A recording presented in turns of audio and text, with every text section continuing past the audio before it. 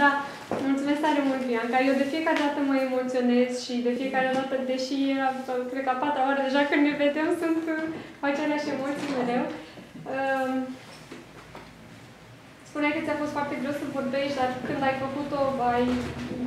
ai dat de un alt univers în care ai ajutat oameni. Și eu văd greul acesta de a vorbi în persoanele cu care lucrez și care vin în cabinet și care, mai ales când vine vorba de rușine sau de lucruri pe care le regretă, uh, pleacă așa ca cu pământ și preferă să nu vorbească despre asta, dar uh, greutatea pe care o poartă nu e invizibilă. Dacă ignorăm, nu înseamnă că nu există, nu? Și ce vreau să vă spun e că și eu, la un moment dat, am fost pusă să fac o listă a lucrurilor de care mi este rușine. Cu câțiva ani în urmă. Și eram așa foarte închisă la momentul respectiv și mi se părea, nu, că povestea mea nu are niciun sens, sau că, mă rog, n-ar putea să învețe nimeni din ea și că toată lumea are ceva mult mai bun decât am eu și că ce rost mai are să mai vorbim și despre lucrurile astea pe care eu oricum știu că le am și că sunt urâtă pe scurt. Și uh, am scris acea listă Bineînțeles, mi-a fost foarte greu și uh, foarte greu să primesc dragostea persoanei care a citit uh, motivele ulterior, care nu mai putea de râs și eu nu mai puteam de plâns. Și vreo două zile nu voiam să văd și o coleam și se ținea Sky. Și după acel exercițiu sau experiment așa în carne vie, mi-am dat seama că sunt foarte, foarte eliberată. Este vindecător să povestești ce se întâmplă cu tine pentru că te conectează la alți oameni, pentru că ți arată că ceilalți nu te resping așa cum crezi tu sau dacă te resping nu sunt oamenii tăi, vin mereu alții și este ceea ce încerc și eu să îi învăț pe oamenii cu care lucrez. Sigur că nu o să vorbim acum cu toți în gura mare pe stradă, dar ne putem crea un cerc de persoane de încredere cu care să facem asta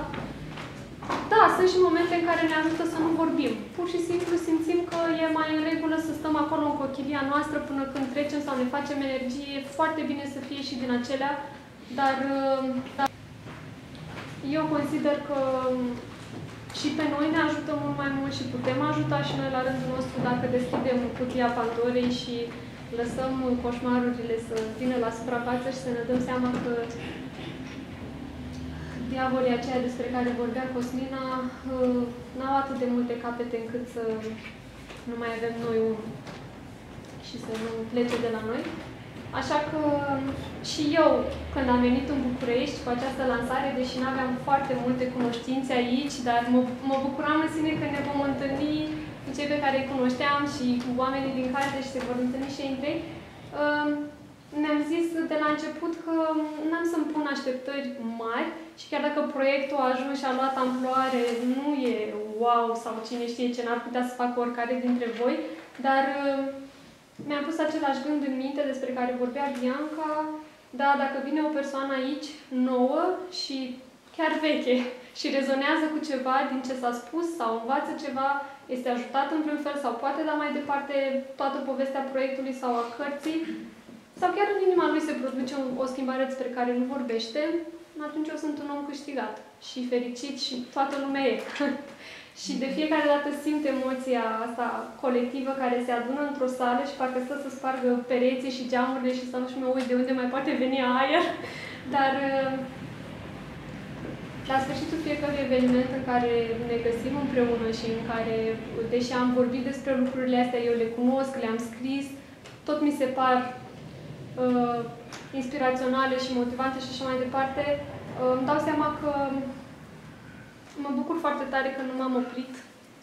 și că nu ne-am oprit. Ca orice persoană cu uh, greutăți și am trecut prin momente depresive și am avut gânduri de sinucidere și eu am trecut de la tot ce făceam înainte la totul altceva și iar am revenit. Am, o să vedeți în prefața cărții, în an jumate m-am retras într-o mănăstire. Adică au fost multe momente și multe etape în care Uh, nu găseam sensul sau nu mai vedeam sensul și dacă e o lecție pe care am învățat-o și cu care am vrea să rămâneți așa, e că sensul nu e unul universal și nu este unul veșnic. Sensul și-l găsește fiecare în fiecare etapă a vieții lui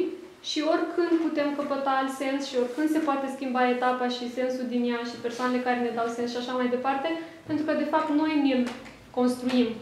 nu are viața ceva cu care vine din prima și zice trebuie să mă descoperi neapărat că altfel ai ratat toate șansele de a mai fi pe acest pământ, ci nu viața zice și vine și zice transformă-mă. Fă ceva cu mine. Și dacă o avem, înseamnă că cineva sus, jos, unde vreți voi, are încredere că uh, putem să facem asta. Important e să credem și noi și să nu ne oprim. Pentru că Sanity in the Age vine, e o idee de sănătate, o idee de însorire, o idee de continuitate pe toate planurile și uh, tind să cred că deși ne-a invadat așa și ne-am invadat cu tehnologie, asta într-un fel sau altul ne aduce și mai aproape. Pe cei care mai vrem să fim conectați uman și emoțional, încă ne dăm seama cât de distanțați suntem uneori. Și asta am încercat să fac, așa că vă mulțumesc foarte, foarte mult că ați venit și că ați stat și ne-ați ascultat. Și dacă aveți întrebări, simțiți-vă liber să le adresați mie, invitaților, suntem încă aici pentru dumneavoastră. După această sesiune, dacă vor fi întrebări sau vom, vom mai dori să mai facem precizări, cineva dori să ia cartea, ne vom muta în încăpere de alături, costul este de 25 de lei, luminița o să mă ajute, treceți întâi pe la ea și apoi pe la mine dacă vreți să vi le semnez, cu mare drag. Așa că acum eu vă las pe voi să vorbiți, că am tot vorbit.